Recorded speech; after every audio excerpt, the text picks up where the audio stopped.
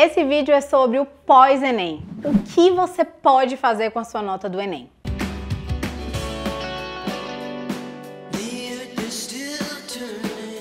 Oi pessoal, tudo bem? Esse é o segundo vídeo da nossa série sobre o Enem 2020. Se você perdeu o primeiro vídeo, já vou deixar aqui nos cards e na descrição do vídeo. Falei três dicas essenciais para o dia da prova.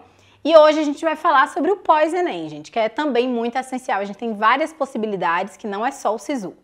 A primeira coisa que eu acho que você deve estar perguntando aí é, Mona, eu posso usar minha nota do Enem para entrar em qualquer universidade do país? Infelizmente, a resposta é não, gente. Ou felizmente, né? Depende do ponto de vista. Cada universidade tem liberdade para escolher como é o processo seletivo. Mas hoje em dia, a maioria das universidades públicas já aceitam o Enem, né, pelo SISU. Onde eu posso usar minha nota do Enem? Tem três formas principais e outras alternativas. O método principal é o SISU, né, gente, que é o Sistema Unificado, que você vai colocar a sua nota e vai concorrer à maior parte das universidades públicas do país. Nesse sistema tem várias regrinhas para você utilizar. O edital e as datas do SISU desse ano ainda não saíram, porque provavelmente vai ser só março e abril. Quando sair, eu vou fazer um vídeo dedicado só para o SISU. Mas se você já quiser entender mais ou menos como o SISU funciona, tem um vídeo aqui no canal só sobre o SISU. Vou deixar aqui também nos cards e na descrição do vídeo, tá bom? Então, o primeiro método é o SISU, que todo mundo tem que colocar a nota lá, porque afinal de contas são as universidades públicas do Brasil. O segundo método é o ProUni. Com o ProUni, gente, você consegue concorrer a vagas em universidades particulares do Brasil por meio de bolsas. Então, um programa do governo que fornece bolsas em universidades particulares. A data de inscrição do ProUni já saiu, é do dia 12 a 15 de janeiro desse ano, o que foi um grande choque porque o Enem não vai nem ter sido aplicado ainda. Então, infelizmente, para concorrer ao ProUni e o FIES, que eu vou falar mais para frente desse ano, não dá para concorrer com o Enem desse ano, que é uma grande palhaçada, né? Mas seguimos aí, né? Culpa desse governo.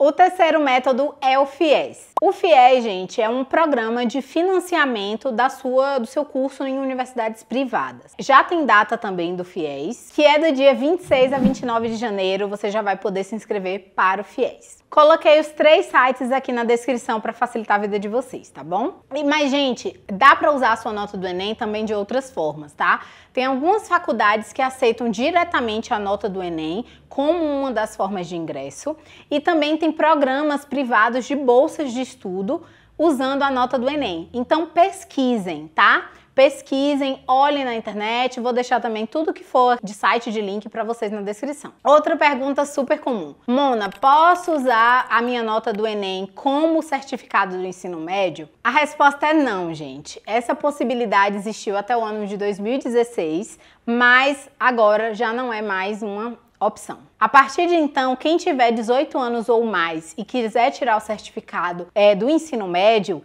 tem que fazer uma prova desse seguinte exame com o nome mais gigante do Brasil: Exame Nacional para Certificação de Competências de Jovens e Adultos.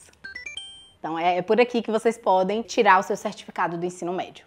Me conta aqui nos comentários qual dessas opções que vocês estão pensando em prestar, SISU, FIES, ProUni. Me conta aqui embaixo que eu quero muito saber. E fica de olho para o próximo vídeo da série, tá bom? Que é respondendo perguntinhas do Enem. E aproveitando, se você tiver alguma dúvida, já comenta aqui, porque eu vou gravar um vídeo respondendo as dúvidas de vocês. É isso, espero muito que tenham gostado. Um beijo e até a próxima. Tchau!